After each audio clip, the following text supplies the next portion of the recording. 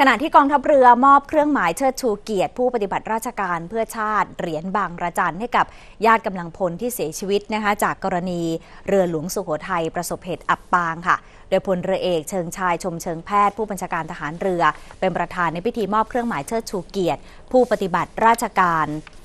พื่อชาติเหรียญบางระจัน ให้แก่ญาติกำลังพลที่เสียชีวิตจากเหตุการณ์เรือหลวงสุโขทัยอับปางจำนวน 29 นาย โดยมีคณะนายทหารชั้นผู้ใหญ่และญาติกำลังพลที่เสียชีวิตร่วมในพิธี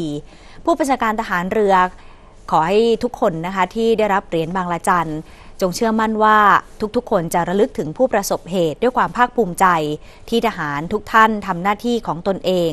ได้อย่างสมเกียรติสมศักดิ์ศรี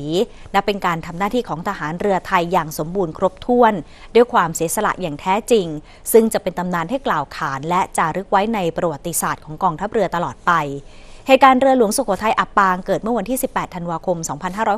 2565 มีกำลังพลเสียชีวิต 29 นาย รอดชีวิต 76 นาย โดยในส่วนของการปฏิบัติการค้นหากำลังพล กองทัพเรือและหน่วยงานต่างๆ ได้ค้นหาอย่างต่อเนื่อง โดยผู้บัญชาการทหารเรือมีความเป็นห่วงครอบครัวกำลังพลที่บาดเจ็บ และเสียชีวิต รวมถึงกำลังพลที่ยังสูญหาย จึงเร่งรัดให้หน่วยงานที่เกี่ยวข้องกับสิทธิกำลังพลดำเนินการช่วยเหลือและบรรเทาความเดือดร้อนในด้านต่าง ๆ อย่างเต็มที่